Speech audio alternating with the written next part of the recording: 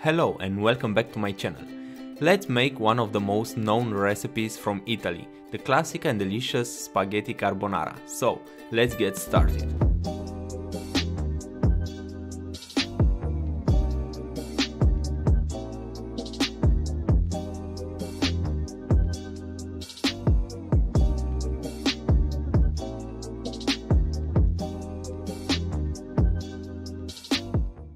For this recipe we need 200 grams of spaghetti, 250 grams of pancetta, 1 egg, parmigiano or grana padano, salt and pepper. This recipe is very simple but very tasteful. First step is to put the salt water to boil. A lot of people say that the salinity of water have to be near to salinity of the ocean. Second step is to take one egg yolk and mix with grated cheese. This will be used at the end.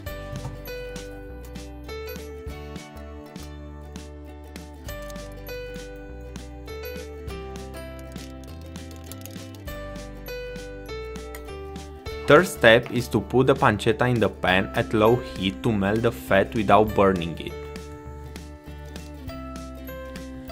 Fourth step is when the water boils to put our spaghetti in and mix them to not stick to each other. It's not needed to put oil in the water, we don't want to prevent the interaction between pasta and sauce. This all the melted fat looks so good and do not use extra oil, it is better to keep simple and delicious taste of pancetta. We will taste our pasta before to take them out to see if they are done. Let the pasta boil till they are al dente. They will be cooked a little more also in the pan. Fifth step is to take the pasta out and save some water from boiling because we will need it. Sixth step is to add the pasta over and make sure they will meet with the melted fat. Seventh step is to add a little water from pasta to start creating the sauce.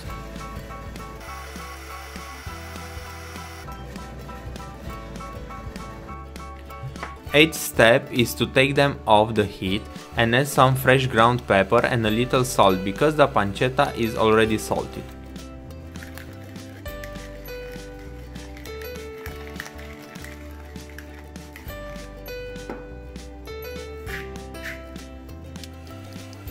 Final step is to add the egg yolk mixed with cheese after our pasta has cooled a little bit.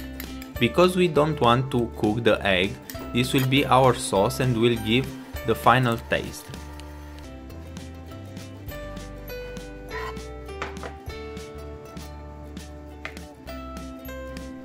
That's it, put them on a plate or two. Put over a little more fresh ground pepper and some parmigiano. This is the classic recipe of carbonara. Subscribe to my channel and stay tuned for next recipes.